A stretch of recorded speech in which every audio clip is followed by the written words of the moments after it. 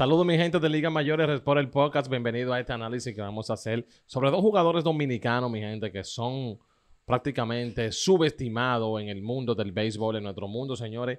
Casi no hablamos de ellos. Esos son José Ramírez y William Adame. José Ramírez este, este 2024 lo ha vuelto a hacer. Ha vuelto, señores, a estar en la élite de los mejores bateadores de la Liga Americana y de todas las grandes ligas Realmente hasta ahora batea 2.74, un promedio realmente súper bueno para la categoría de pelotero que es José Ramírez, ya que es un slugger, tiene 33 cuadrangulares, señor, increíble. Su wall está en 5 puntos, o sea, estamos viendo aquí que se ha mantenido por encima del reemplazo y como siempre, y también ha sido un jugador que ha ayudado a su equipo conectando otra base y, y batazos importantes para que ellos ganen victoria realmente, señores. Además de eso, su OVP de 331 deja ver que se ha, mantenido siendo un jugador que ha conectado muchos extra base y tiene también buen OPS. Así que una tremenda temporada la que está teniendo José Ramírez, también el campo corto William Adame, uno de los mejores campos cortos de todas las grandes ligas. 27 cuadrangulares ya para William Adame.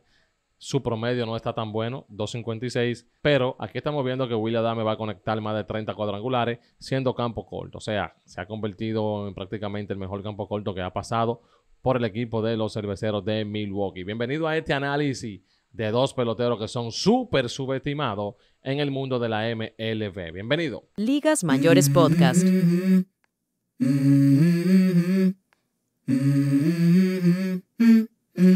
Let's go.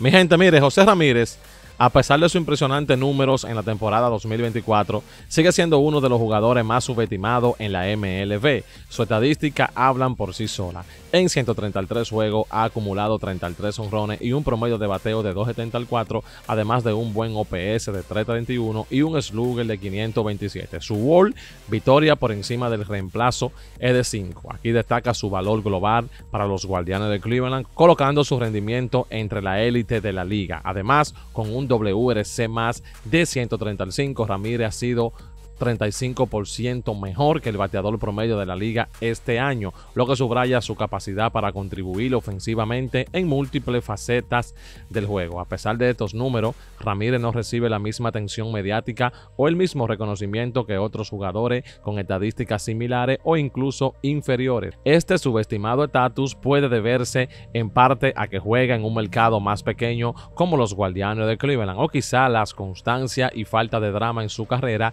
que lo han convertido en un pilar estable, pero no siempre destacado en las conversaciones de la MLB. Pero sin duda, José Ramírez es uno de los jugadores más completos y valiosos de la Grandes Ligas y aunque no siempre recibe los reflectores que merece, su impacto en el terreno es innegable. Por otro lado, también el dominicano William Adame, a pesar de tener una temporada sólida en el 2024, es otro de los jugadores que no recibe el reconocimiento que merece en la MLB. En 136 juegos ha acumulado 27 jonrones con un promedio de bateo de 2.56, un OVP de 3.40 y un slugger de 467. Su wall es de 4.4, destacando su valor en toda la faceta del juego para los cerveceros de Milwaukee. Con un WRC más de 123, además ha sido un 23% mejor que el bateador promedio de la liga, lo que refleja su capacidad para contribuir ofensivamente de manera significativa. Además, su OVA de 347 respalda su efectividad en general carrera para